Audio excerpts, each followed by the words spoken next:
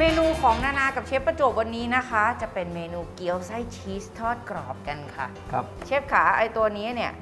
ดัดแปลงมาจากราวิโอลี่หรือเปล่า ก็ใช่เลยล่ะ เพราะว่าเรา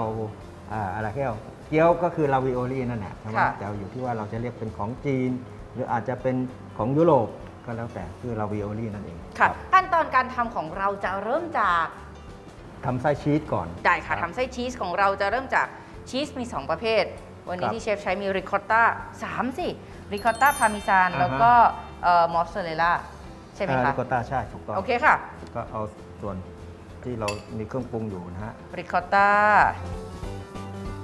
มอสซาเรลล่ามอสซาเรลล่านะคะ และพาร์มิซานค่ะเราก็จะใส่พวกของแห้งลงไปก่อน เพราะว่าจะได้ใส่ร้อยแล้วมันจะกระจาย เวลาเราใส่ของเหลวไปแล้วมันจะได้ไม่เกาะพริกไทยป่น เกลือป่นเสริมไอโอดีน ลูกจันทร์ป่นพาสลีย์โหระพา และผิวมะนาวขูดค่ะ ใส่ไข่ทั้งฟองนะคะ คนให้เข้ากันนะเราก็จะได้ไส้ชีสโอ้จากนั้นเราจะเอาไส้ชีสตัวนี้เนี่ยนะคะ ใส่ถุงบีบ อันนี้เราก็เตรียมถาดที่สะอาดหรือเขียงที่สะอาดไว้นะฮะ เอาชีสที่เตรียมไว้นะคะ ใส่ถุงบีบค่ะ เพื่อให้การทำงานง่ายขึ้นโอ เค หลังจากที่เรามีไส้เตรียมพร้อมแล้วนะ ส่วนตัวแป้งอันนี้เราก็ใช้แค่น้ำเป็นตัวประสานให้เขาเกาะติดกัน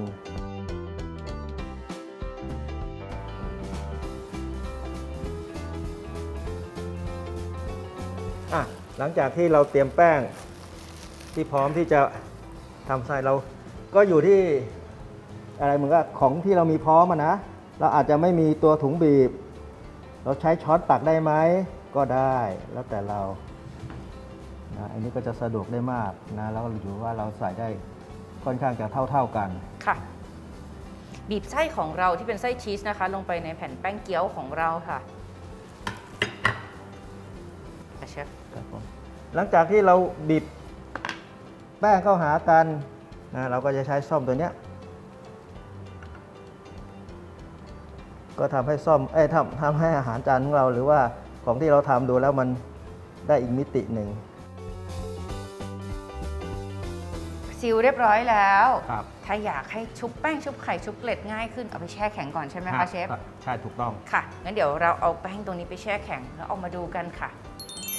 เอาละค่ะ ระหว่างรอตัว เกี๊ยวของเราแช่แข็แข็งงเนี่ยนะคะ เรามาทำตัวซอสที่รับประทานคู่กันดีกว่าอะมาค่ะเชฟขั้นตอนแรกต้องเริ่มจากการผัดใช่ไหมครัคะ บผมวันนี้เนี่ยนานาใช้ขวดนี้เลย ไม่ว่าจะทอดหรือจะผัดเนี่ยนะคะ ใช้น้ำมันผสมตรามรกตไลท์สำหรับทอดและผัดค่ะ กระเทียมนะคะ หอมใหญ่ค่ะ จากนั้นนะคะ ใส่ผงกะหรี่ลงไปค่ะ อย่างที่บอกว่าเราทำซอสเนาะซอสของเราเนี่ยก็ต้องมีความข้นค่ะคุณผู้ชม เราเลือกใช้เป็นนี่เลยค่ะ แป้งอเนกประสงค์ตรากบ หลังจากที่เราผัดแป้งแล้วค่ะนะเชฟเราก็จะเติมกะทิตามลงไปเลย ใช้อัมพวากะทิร้อยเปอร์เซ็นต์นะคะ หลังจากที่เราเติมกะทิลงไป แล้วก็มีความเข้มข้นของตัวแป้งกับเออตัวตัวน้ำกะทิ เราก็จะปรุงรสค่ะ วันนี้มีพาร์เมซานชีสป่นนะคะ พริกไทยป่นค่ะ เกลือป่นเสริมไอโอดีนค่ะนะครับอ่าแล้วเรางั้นเราปิดไฟค่ะ ปิดไฟนะคะ โอเคฮะก็อันนี้ก็จะเป็นตัวหนึ่งเป็นซอสกะหรี่นะ ใช้กินกับแป้งเกี๊ยวของเรา ได้ค่ะครับผมมาทอดเกี๊ยวกัน เอาละค่ะ ระหว่างรอที่จะคลุก เกล็ดขนมปัง เดี๋ยวเรามาเตรียมน้ำมันกันก่อน วันนี้นะคะเลือกใช้เป็นนี่เลย น้ำมันผสมตรามรกตไลท์ค่ะสำหรับทอดและผัดนะ ต่อไปเราก็จะใช้ส่วนเกี๊ยวที่เราทำเสร็จแล้ว ก็จะมาคลุกกับเกล็ดขนมปัง ได้ค่ะ อันนี้เกี๊ยวที่แช่แข็งแล้วนะ เกล็ดขนมปังของเราแน่นอน วันนี้ใช้เป็นเกล็ดขนมปังชุบทอดตราโกกิค่ะ เสร็จแล้วเราก็จะเอาของแห้งเนี่ยใส่ลงไปทั้งหมดเลย ของแห้งของเราวันนี้นานาช่วยนะเกลือเกลือป่นเสริมไอโอดีนนะคะครับพริกไทยป่นนะคะออริโกโนออริกาโนนะคะ แล้วก็เป็นพาร์สลีย์แห้งพาร์สลีย์แห้งค่ะ แล้วก็พาร์เมซานชีสพาร์เมซานชีสป่นนะคะ อีกอ่างผสมหนึ่งของเรานะคะ ไข่ไก่หนึ่งฟองนะคะ น้ำเปล่า เพิ่มน้ำนิดหน่อย โอเค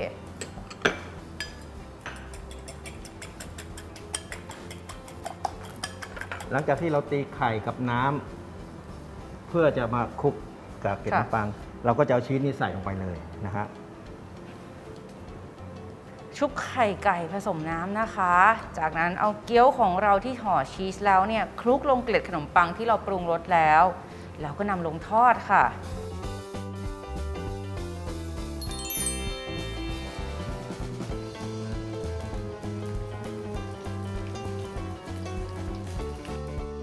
สวยมากสีทองเลยอะ น่าทานมากเลยค่ะโอเคตักขึ้นเสด็จน้ำมันแล้วก็เสิร์ฟเลยค่ะๆสีสวยงามมาก ๆ เลย ก็พอสุกแล้ว เหลืองกรอบสวยงามดีด้วย เกรดนี้เราจะจัดลงจาน อันนี้ก็อยู่ที่ว่าเราจะนำเสนอนะอาจจะใส่เป็นบาสเกตก็ได้คือตะกร้าเนาะ สุดท้ายเราก็ให้เพื่อมันเพิ่มความอร่อยนะากลิ่นใส่ยังพาร์เมซานโชยๆชีสอยู่ป่นนะลงไปด้วยนะคะโอ้โหแย่แล้ว น่ากินมากเลย เมนูนี้เนี่ยสามารถแช่แข็งไว้ อยากทานเมื่อไหร่ก็เอามาทอด สามารถทำให้คุณได้มีขนมหรือของของว่างทานง่ายๆด้วยเนี่ยนะคะเป็นพวกอะไรจะเน็กใช่เรียกรับย่อย ยังไงลองเอาสูตรเกี๊ยวไส้ชีสทอดกรอบของเชฟประจวบสูตรนี้ไปลองทำกันดูนะคะ คุณผู้ชม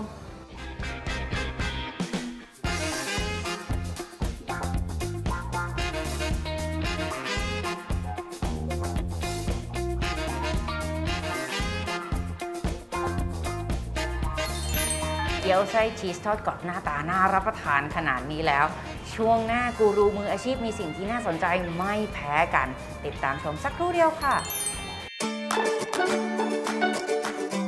วันนี้เรามีเมนูที่ทำทานก็ง่ายทำขายก็ดี ด้วยมิตรผลปี๊บ น้ำตาลอ้อยผสมน้ำตาลมะพร้าว สีสวยตักง่ายกลมกล่อมทุกเมนู กับเมนูกุ้งหวาน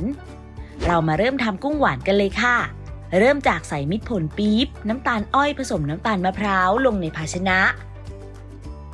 ตามด้วยน้ำ เกลือป่นเสริมไอโอดีน น้ำปลานำขึ้นตั้งไฟ คนตลอดเวลาจนส่วนผสมเดือด ใส่กุ้งสดลงไปเคี่ยวต่อจนกระทั่งกุ้งสุกใส ปิดไฟค่ะ ตักกุ้งหวานใส่ภาชนะ ตกแต่งด้วยผักชี เพียงแค่นี้เราก็จะได้เมนูกุ้งหวานที่มีสีเงาสวยชวนรับประทานแล้วล่ะค่ะ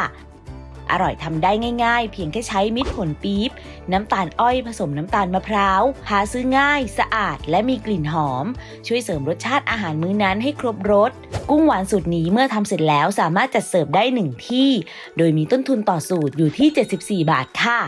อย่าลืมนะคะ มิตรผลปี๊บ สีสวยตักง่าย กลมกล่อมทุกเมนู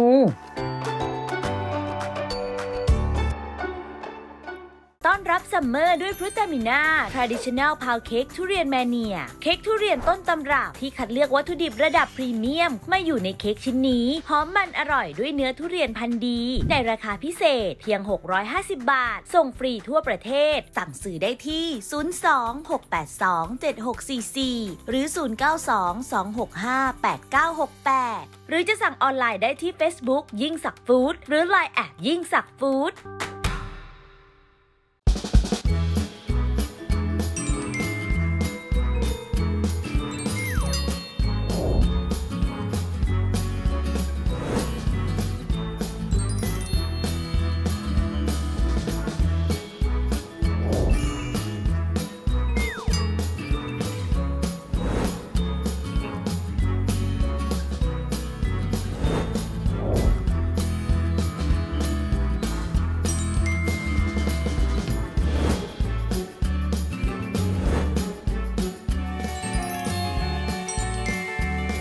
ฟลุตามิน่า Traditional Pound Cake 3 รสชาติใหม่ เค้ก marble เค้ก black forest เค้กกาแฟ rum raisin ราคาพิเศษ 900 บาท 1 เซตรวม 3 รสชาติ จากปกติ 1,350 บาท จัดส่งฟรีทั่วประเทศ สั่งซื้อได้ที่ Facebook ยิ่งสักฟู้ดหรือ Line add ยิ่งสักฟู้ด